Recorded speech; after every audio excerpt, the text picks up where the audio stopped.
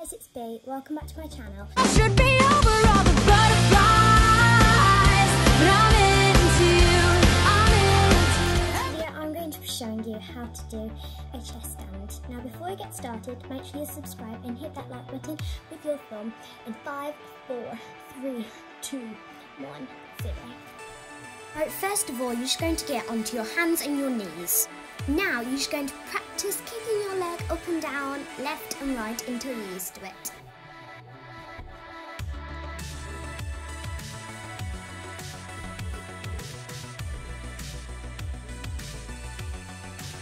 So now you're just going to lie on your back and practice kicking your legs up and down so that it works on your leg strength and your back strength so that you are able to put your legs high up in the air with no support.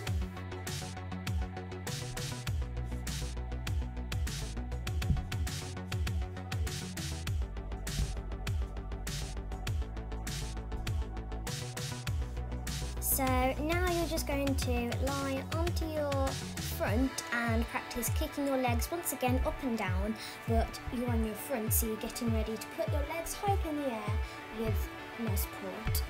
Just keep doing it until you're used to it, left and right, left and right, so that you're used to both legs.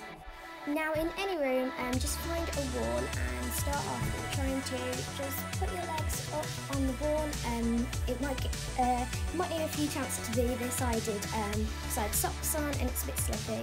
But when you're in that position, um, just follow along with the exercises.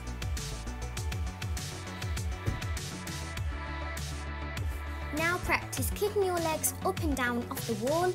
Um, the right leg and the left leg and do both together.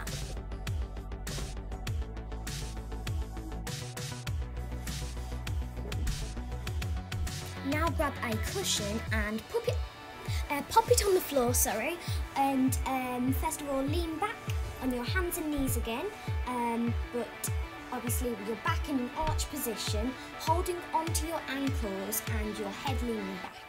Now you're going to push forwards onto your hands, put all the pressure, look.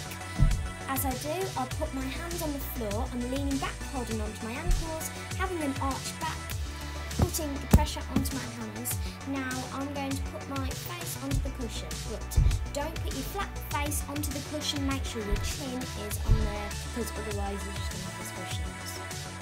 So now keep on doing that until you've got your chest down and until you feel comfortable with actually doing it.